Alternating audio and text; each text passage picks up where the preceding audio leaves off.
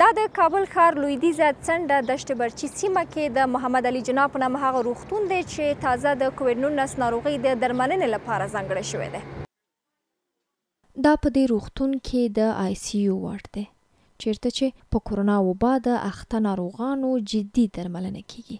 روغتیاپالان د دې ناروغانو د ژوندي پاتې کېدو چانس ډېر کم بولي، خو په وینا یې هڅه کوي د مصنوعي ساه یا اکسیجن په مرسته یې د مرګ ګواښ راکم کړي.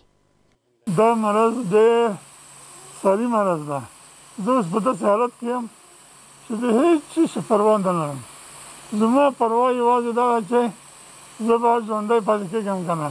د عامې روغتیا وزارت د تېرو څلور ویشتو ساعتونو تازه خپاره شوي ارقام ښيي چې هېواد کې یو زر او اووه سوه څلور ویشت کسان په کرونا اخته شوي دي چې د تېرو ورځو په پرتله لوړه شمېره ده. سره له دې چې د کرونا وبا د درملنې دا څانګه تازه پرانیستل شوې، خو د اکسیجن د کمښت له امله ترې ډېری ناروغان له دروازې بېرته ستنېږي.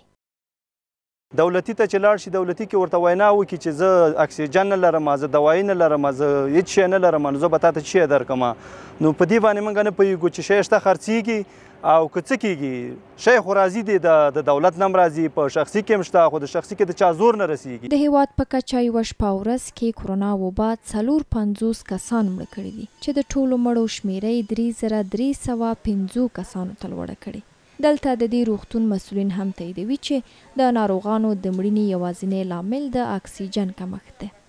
ډېره زیاته اړتیا شته، موږ د همدې خاطره چې اکسیجن کمبود سره مخامخ یو، موږ اوس پنځوس بستره لرو. سره له دې چې دا روغتون د اکسیجن دستګاه لري، خو په بالونونو کې د تولید ظرفیت په کې نه شته او یوازې په عادي حالت کې د کرونا وبا ځانګړو واردونو ته هوا خپروي.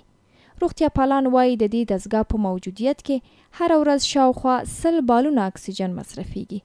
که دا دستګاه فعالیت ونه کړي نو تر نهه سوه بالونو پورې اکسیجن ته اړتیا ده چې دا مرکز یې نه شي پوره کولی.